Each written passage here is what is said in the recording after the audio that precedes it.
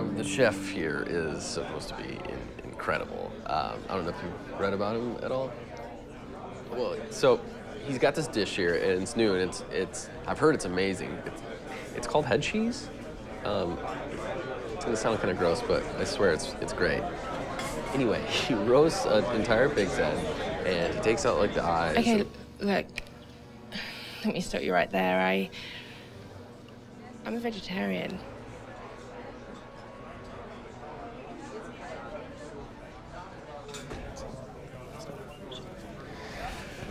Okay, I, sorry, I didn't I didn't know.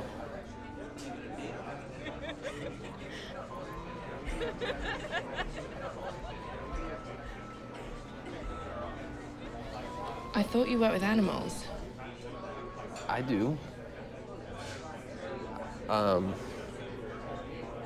you think I'm a hypocrite for, for eating animals? No, I mean, animals eat other animals, right? Yeah, yeah, no, exactly. That's kind of the way I view it, anyway.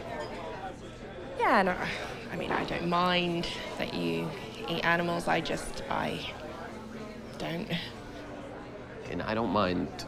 Let me get this clear. I, I, I don't mind that you don't eat animals. I think it's great, actually. Think, you know, it's admirable, really.